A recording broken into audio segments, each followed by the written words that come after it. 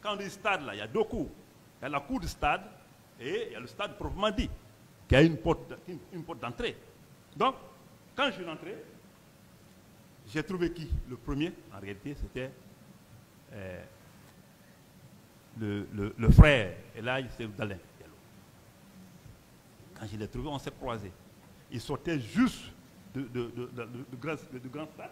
On s'est croisés à la porte. J'ai bien dit hein, que j'ai croisé d'autres, même devant là-bas, même au niveau de l'esplanade. J'ai croisé d'autres, mais moi je pourrais, je pourrais vous rentrer, pour sortir. Mais l'élément essentiel que je cherchais, c'est et là que je, tombe là-dessus. Il m'a dit, jeune frère, voilà ce qui se passe. Il dit, mais je vous ai dit que cette armée-là, tu as été victime une première fois. On a mis ton, ton domicile dans le stade, ça t'a pas dit quelque chose. Cette armée n'a pas ce contrôle. Donc, pratiquement, il faut qu'on quitte ici.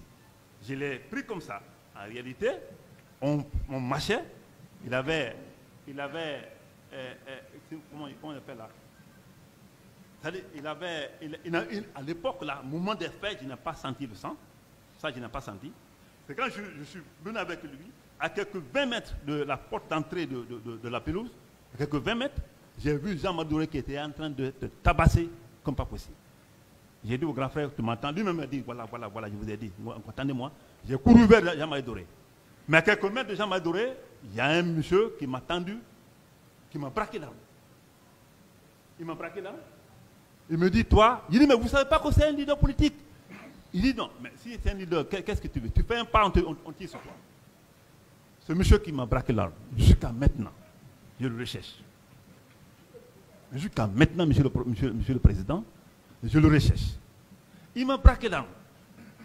Ça ne m'a pas démotivé.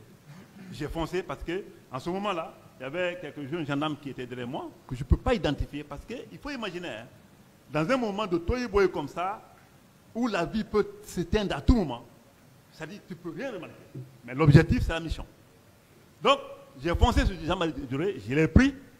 Si vous voyez ce premier jour, mon sac, mon, mon, ma tenue était complètement en sang, le côté là, c'est parce que Jean Duré était complètement en sang. Mais avant que je, me retourne, j'ai trouvé encore, le, et là, et là d'aller en, accrochant avec les, avec, les, avec les militaires. Voyez?